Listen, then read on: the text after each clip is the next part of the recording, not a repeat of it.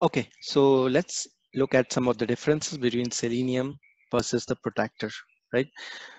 So Selenium, if you have worked with any web application or any front-end application, Selenium supports all types of web applications. It is built for web applications, right? So it's widely used across the testing community and also a lot of companies are dependent on Selenium to automate their web applications. But when it comes specifically for Angular or Angular JS applications, Protractor is the tool, right? It's anyways built on top of the Selenium WebDriver, so it has already got those advantages.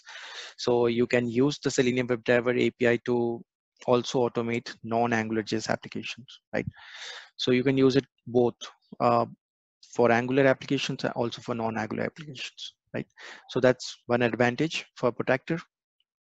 Coming to languages, Selenium widely supports almost all the languages uh, available, like C Sharp, uh, .NET, Perl, PHP, JavaScript, Ruby, Python, Java. So almost any language you want to write uh, your scripts in, Selenium provides the API for that. Now, Protractor, um, it supports mainly JavaScript and TypeScript. Now, TypeScript is anyways built on top of JavaScript, right?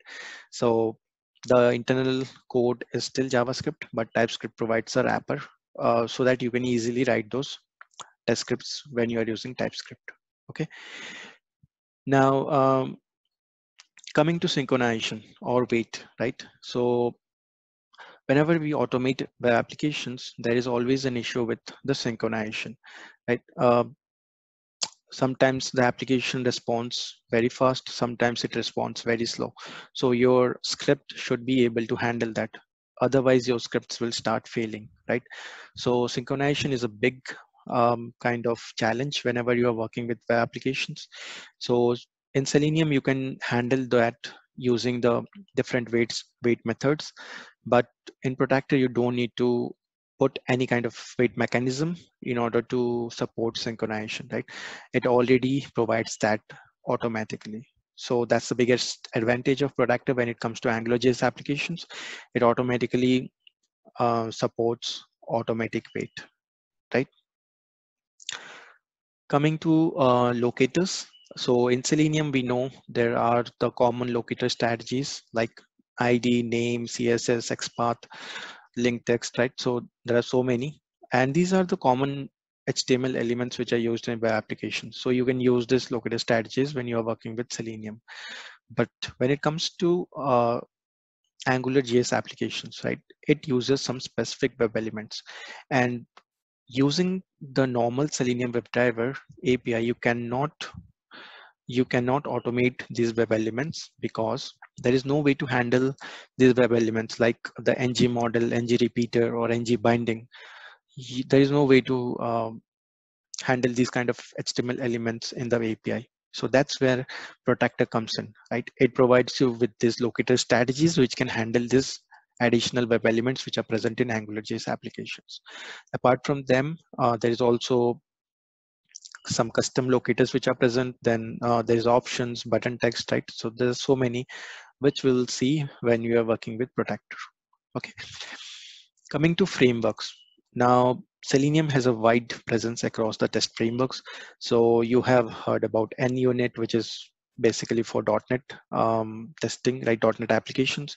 Then for Java, we use JUnit, TestNG, right? For Python, we, we use PyTest or PyUnit.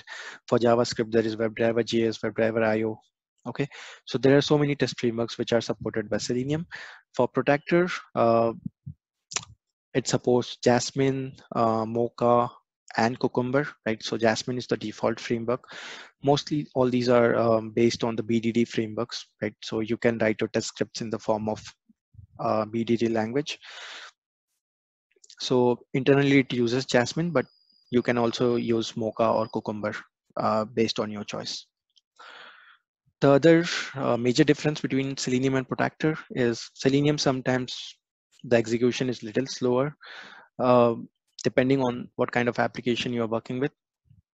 But Protractor is very fast compared to if you compare it with Selenium, Protractor scripts run uh, really fast okay then um, the last difference is like uh, has got more stable scripts, right? And Selenium, sometimes it may not be uh, so stable.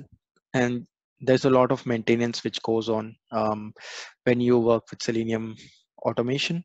But Protractor, it doesn't require so much of maintenance, like The scripts are more stable. Uh, you, you don't need to include any kind of different mechanism to uh, synchronize your application with your scripts. So that comes in handy when you work with Protractor. So these are the basic differences between Selenium and Protractor. This will give you an idea when you should be using Selenium and when you should be using Protractor, right? What are the advantages? So we have already seen that.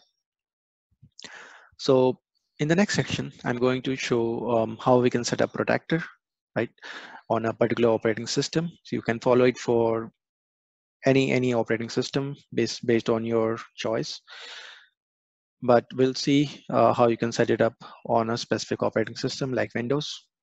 Okay